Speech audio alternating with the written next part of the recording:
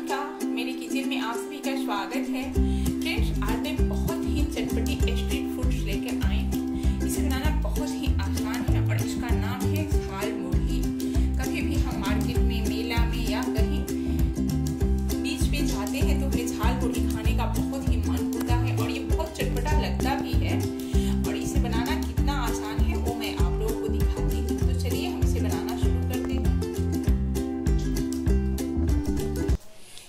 झाल मुढ़ी बनाने के लिए हमने एक बड़ा बॉल लिया है। इसमें हम डालेंगे एक ओनियन ये झाल मुढ़ी हम चार जने के लिए बना रहे हैं। तो यहाँ पे हमने एक बड़ा ओनियन काट लिया है।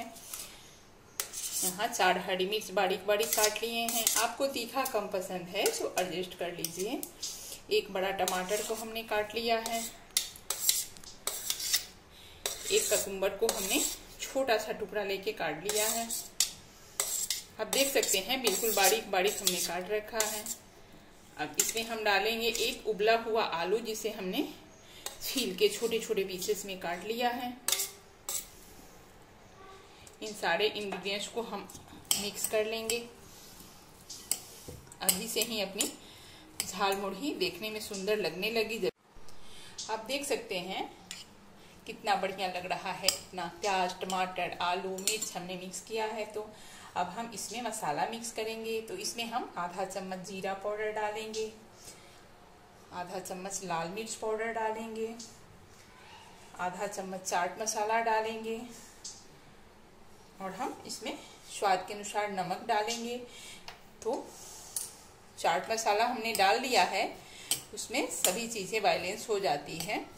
नहीं तो आप अमचूर पाउडर काला नमक डालिए।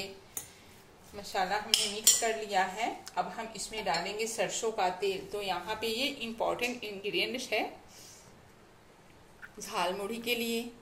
तो एक चम्मच हम यहाँ पे सरसों का तेल डाले हैं और उसे भी अच्छे से हम मिक्स करेंगे। इससे बहुत बढ़िया झाल मुढ़ी में स्वाद आता है और चटपटा भी होता है। अब चलिए हम इसमें झाल मुढ़ी मिक्स करते हैं।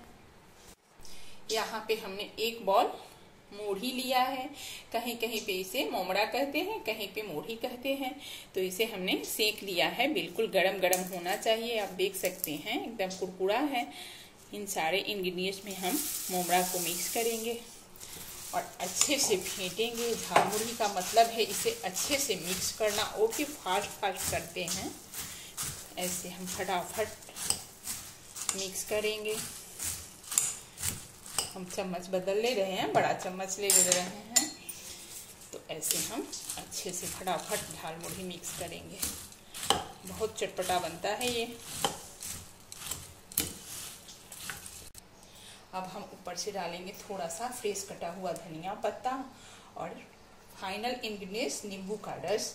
तो इसमें हम आधा नींबू का रस निचोड़ देंगे।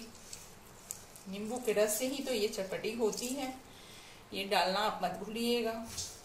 और फिर से हम इसे अच्छे से मिक्स करेंगे।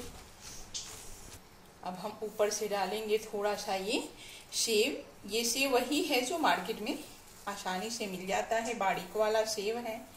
इसे डाल के हम झाल मुढ़ी को अच्छे से मिक्स करेंगे।